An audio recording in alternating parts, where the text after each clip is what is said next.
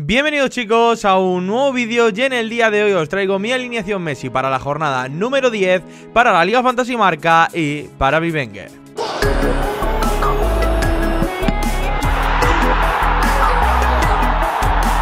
Antes de nada me gustaría pedirte que si te gusta este tipo de vídeos y el contenido te suscribas y dejes un like. Más que nada porque no vayamos a agafar a uno de los futbolistas que tienes en tu plantilla Salen en alineación Messi y nos fastidiamos los dos. Mejor déjate un like, nos ayudamos mutuamente y oye, disfrutamos tranquilamente de la jornada número 10 También os tengo que decir que aparte de que me sigáis por redes sociales, que lo tenéis siempre en la descripción del vídeo Hoy en Twitch plataforma que siempre recomiendo que me sigáis porque estoy haciendo contenido diario, estreno un programa de la mano de la Liga Fantasy Marca y la Liga, un programa que se llama La Hora del Clausulazo y que pues haremos un poco de previa de la jornada número 10, analizando los partidos y sobre todo centrándonos en el partidazo de cada fin de semana. En este caso abrimos este, eh, este programa con el clásico entre Fútbol Club Barcelona y Real Madrid. Me va a acompañar Lolo, periodista de marca que sabe un montonazo, que nos va a contar anécdotas y nos va a dar su punto de vista.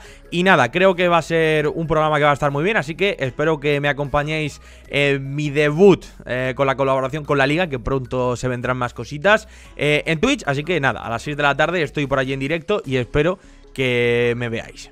Ya antes de ir con la alineación Messi en Vivenger, tenemos que repasar cómo nos fue la anterior jornada, en la jornada número 9, en una liga en la que ya sabéis que juego contra vosotros. Si queréis uniros, pues tenéis el link en la descripción. Liga que evidentemente al final de temporada habrá unos premios, así que oye, está muy avanzada de momento, ya son 9 jornadas, pero oye, mejor apuntarte ahora y no a mitad de temporada. Repasando un poco la alineación, pues la verdad que, pues eh, aunque acertamos en muchos de nuestros análisis, como la confianza en el Radio Vallecano, en el propio Betis, en la Real Sociedad, realmente pocos jugadores nos han puntuado muy bien, aunque sí que es verdad que Raúl de Tomás, nuestra estrella, el que pusimos jugador Ariete, pues no nos ha funcionado muy bien, la verdad, con 13 puntazos y hacemos 68 puntos en la liga de Vivenger, una liga en la que pues esta jornada la verdad que se han visto algunas puntuaciones altas porque al final pues si terminas dando la clave con los futbolistas puedes hacer una gran puntuación, pero la verdad que ha sido una jornada un poquito floja en cuanto a puntuaciones, así que que nadie se extrañe si no habéis puntuado excesivamente alto, porque ha sido una jornada en la que muchos de los partidos en los cuales han conseguido la victoria pues no, no, han puntuado de manera muy alta. Además de que los partidos aplazados, una vez que se jueguen, pues eh, se sumarán los puntos.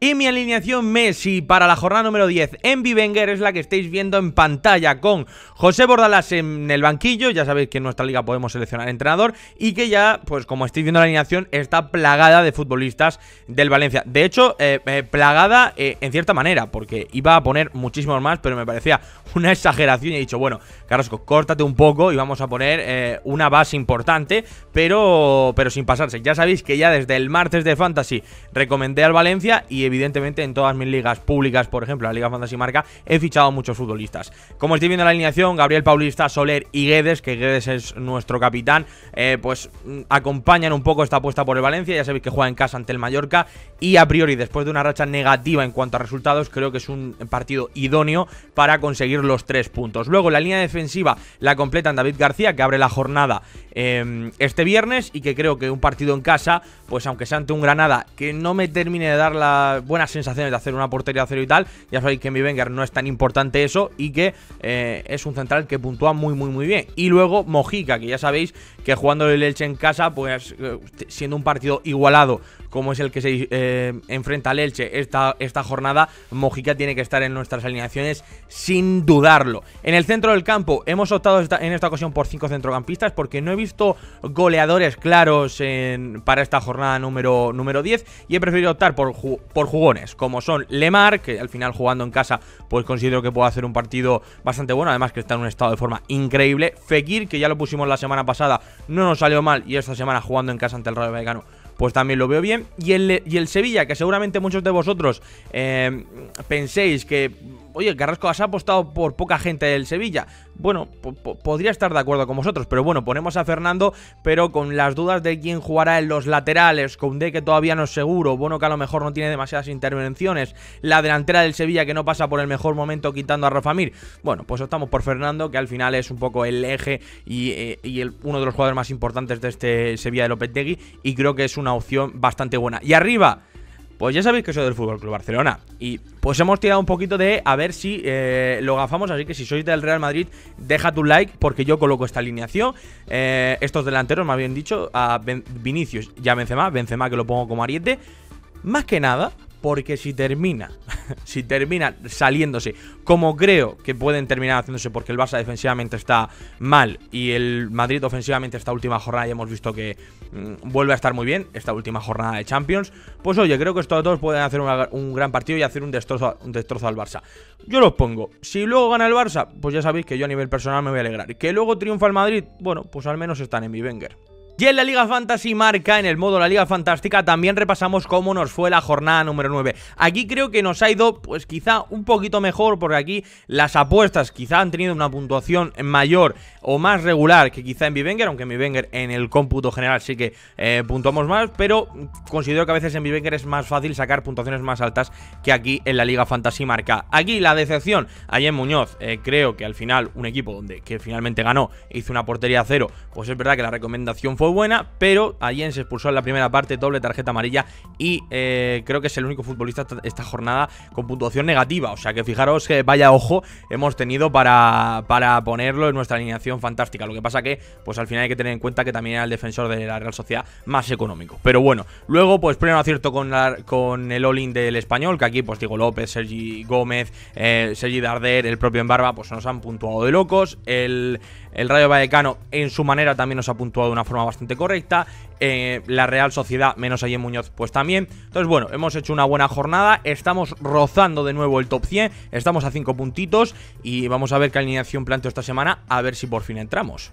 Y para volver al top 100 de la Liga Fantástica, salgo con esta alineación para la jornada número 10, con Zilesen en portería, Gaya y Guas en defensa. Mucha confianza en el Valencia, aquí ya sabéis que la Liga Fantástica tenemos un presupuesto de 100 millones y es mucho más complicado poder hacer una alineación pues con los jugadores que más te gustan, en Vivenger tenemos más margen y pues aquí hemos optado por también la confianza en el Valencia, pero a nivel defensivo. Si nos sale muy bien, nos vamos a coronar, pero como marque finalmente el Mallorca, la verdad que es una apuesta bastante arriesgada. Y pues dejadme por comentarios si pensáis que me va a salir bien o no. Luego vamos con Espino, el Cádiz que juega en casa, es verdad que viene de una mala racha, pero yo creo que eh, hace falta que el Cádiz vuelva a mejorar a nivel defensivo. Espino sin duda es el mejor defensor esta temporada, también es verdad que porque eh, lleva dos goles, si no me equivoco, esta temporada y eso pues en las estadísticas eh, suma bastante. Pero bueno, tampoco está muy caro y me parece que había que colocar un jugador defensivo del Cádiz esta jornada. En el centro del campo vamos con Tomás Lemar, jugador que repite de la alineación de Bivenger, Joan Jordan, sustituyendo a Fernando de la alineación de Bivenger, Jordan que fue suplente en Champions y que yo creo que eso le va, pues, a, digamos, asegurar la titularidad en el partido liguero. Canales, misma, mismo jugador que la semana pasada, una apuesta del Betis en un Betis que está muy bien, siempre creo que es una opción bastante buena, además de que en ambos juegos las opciones Fekir y Canales no son tremendamente caras, así que podemos seguir tirando de ellas. Carles Aleñá, partido en casa, donde pues ante un Celta que tampoco pasa por su mejor momento, creo que el Getafe puede hacer bien las cosas y eh, pues conseguir mínimo un empate y que precisamente uno de los jugadores más ofensivos del equipo pues pueda hacer una buena actuación. Y luego arriba, vamos con un poco una apuesta, la verdad, porque como os he dicho anteriormente, no termino de confiar demasiado en los delanteros esta semana em, a, nivel de cualquier futbolista, pero aquí en, este caso ponemos a Ansu Fati porque es un jugador bastante económico en la Liga Fantástica, Karim Benzema y Vinicius están tremendamente caros, por lo tanto hemos optado por el 10 del Barça. Vamos con Fidel, eh, un poco lo mismo que os he dicho anteriormente con Mojica. Creo que son partidos para que los dos jugadores más importantes del Elche tengan que estar sí o sí en vuestras alineaciones. Y la apuesta de la semana es Chimi Ávila, que viene de marcar. Quique García es duda. Veremos a ver si termina llegando o no. Lo positivo es que al final pues tendremos la alineación el propio viernes. Así que si no fuera titular el Chimi Ávila, podemos sustituirlo. Mi idea sería que si Chimi Ávila no llegase, pues entrara, por ejemplo, un Rubén García que es un pelín más caro. Y aquí tendríamos que sustituir a Fidel por otro futbolista. Si tuviéramos que hacer esa opción, pues oye, me gustaría que me dierais alternativas en los comentarios para eh, completar una delantera que mm, no termino de ver claro. Quizá un Rafa Mir podría ser una opción. Ahí os lo lanzo. Rafa Mir, Rubén García. Oye, yo tampoco lo, veo mal si el comandante Ávila pues, eh, es suplente. Dejadme en comentarios también si pensáis que con esta alineación podemos recortar esa distancia de 5 puntos y volver al top 100. Ya está aquí chicos, mis alineaciones Messi para los mejores fantasy en esta jornada número 10 Espero que os haya gustado, espero que os paséis por Twitch para ver el estreno del programa. Si ya estáis viendo el vídeo demasiado tarde, el programa se va a quedar resubido y me gustaría que aún así lo vierais Porque yo creo que es un contenido que aunque no sea en directo, lo podéis ver resubido y me decís qué tal, porque oye, me gusta bastante leer vuestro feedback y me parece que eh, al ser la primera colaboración con la liga me gustaría que saliese bastante bien y vuestros comentarios para que mejore es muy importante, así que eh, estaré atento a cualquier cosa que me digáis y nada, que muchísimas gracias por el apoyo, sin vosotros estos eh, pasitos adelante que estamos haciendo en la liga no sería posible y nada, que si os ha gustado el contenido y no queréis perderos ninguno más, pues ya sabéis, suscribiros, dejad un like y mucha suerte en esta jornada número 10. Nos vemos en la próxima. Adiós.